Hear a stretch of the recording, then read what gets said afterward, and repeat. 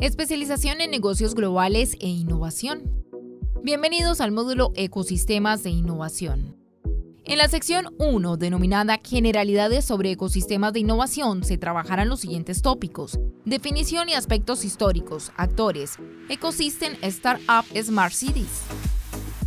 Al igual que en los ecosistemas naturales, la variedad de actividades, especies e interacciones entre ellos son los que establecen su riqueza. Por tanto, cuando se habla de ecosistemas artificiales como los ecosistemas de innovación, se tiene que considerar no solo a los agentes más enriquecedores, sino también a los que generen interacciones apropiadas entre ellos. A lo largo de los años, diferentes académicos han intentado definir del concepto de ecosistemas de innovación sin llegar a un acuerdo. A manera de referencia, una de las definiciones existentes establece que este término se usa para referirse a los sistemas interorganizacionales, políticos, económicos, ambientales y tecnológicos a través de los cuales se cataliza, sostiene y respalda un entorno propicio para el crecimiento empresarial.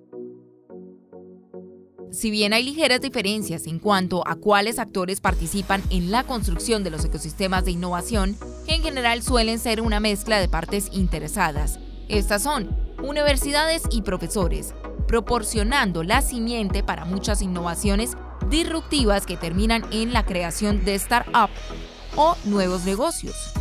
Dinamizadoras del ecosistema, como incubadoras o aceleradoras que pueden prevenir de universidades emprendedoras, instituciones públicas o grandes empresas.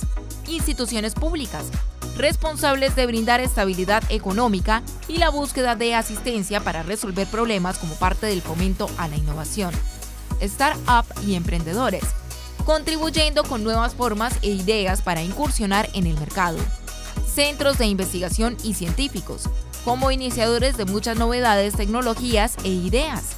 Capitalistas e inversores, jugando un papel crucial ya que el acceso a financiación es uno de los mayores problemas en el mundo de los negocios. Empresas, promotoras y receptoras capaces de llevar las innovaciones y nuevas ideas al mercado. Y la sociedad en general, la cual como destinataria de las innovaciones es fundamental tenerla en cuenta y si es posible, brindarle una participación en los procesos que se vayan gestando. Por muchos años se ha investigado el tema y se ha descubierto una especie de círculo virtuoso, el cual manifiesta que una inversión de investigación y desarrollo I D es requerida para que surjan novedosas invenciones, las cuales se lanzan al mercado proporcionando con esto muchos beneficios económicos para las firmas. Estas reinvierten la inversión en sus departamentos de I D, llegando con esto al punto inicial del círculo. Una manera tradicional de poner en marcha este círculo virtuoso ha sido a través de modelos de innovación cerrada donde se presenta un flujo interno desde la compañía hacia el mercado, las potenciales ideas solo son examinadas en el proceso de investigación por parte de científicos y departamentos internos de I+D, seleccionando únicamente las mejores.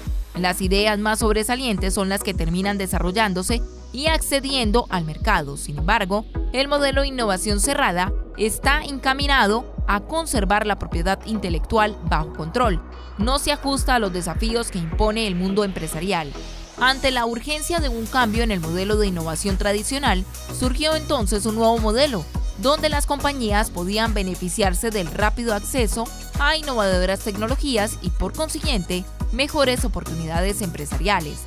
La innovación abierta permite una interacción mayor entre centros educativos, laboratorios de investigación y universidades como ejes de inversión-retribución, en los cuales se consigue obtener un mayor conocimiento e información en tecnología y proyectos provechosos para la compañía.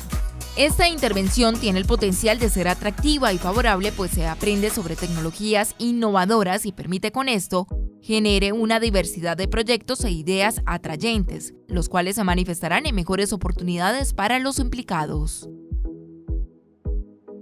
¿Cuál es la relación entre los Startup, ecosistemas de innovación y Smart Cities? La ciudad inteligente es la forma en la que los ciudadanos están dando estructura a las ciudades mediante el uso de tecnología. Se trata de cómo se empodera a las personas mediante el uso de la tecnología para contribuir al cambio urbano y hacer realidad sus ambiciones. La ciudad inteligente proporciona las condiciones y los recursos para el cambio. En este sentido, la ciudad inteligente es un laboratorio urbano, un ecosistema de innovación urbana, un laboratorio vivo, un agente de cambio. Las Smart Cities han experimentado un cambio de paradigma histórico pasando por fundar el espacio virtual a través de aplicaciones TICs e Internet. Para tabletas o smartphones, a la administración de la ciudad, la capacidad de atracción de especialistas altamente calificados y la posibilidad de producción y absorción de innovación. Hoy en día se identifican diversos componentes esenciales en el desarrollo exitoso de una Smart Cities, como la innovación, creatividad, las TICs, la optimización de los recursos públicos, la cooperación y participación de la sociedad, entre otros. La construcción de ciudades inteligentes va de la mano con el fortalecimiento y consolidación de ecosistemas de innovación robustos que apoyen al emprendedor y se genere con esto una sinergia social que beneficie a la región y al país. Varias ciudades en el mundo han hecho avances significativos en los anteriores componentes y se han convertido en referentes internacionales de ecosistemas de innovación y Smart Cities.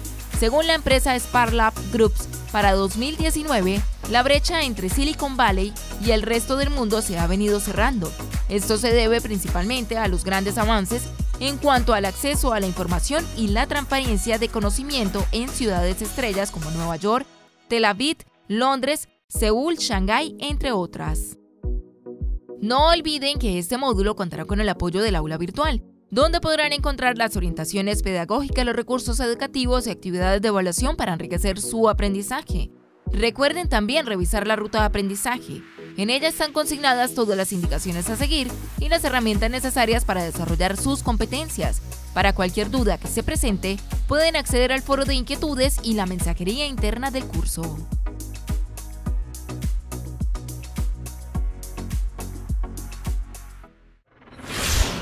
Universidad Santo Tomás, institución vigilada por el Ministerio de Educación Nacional.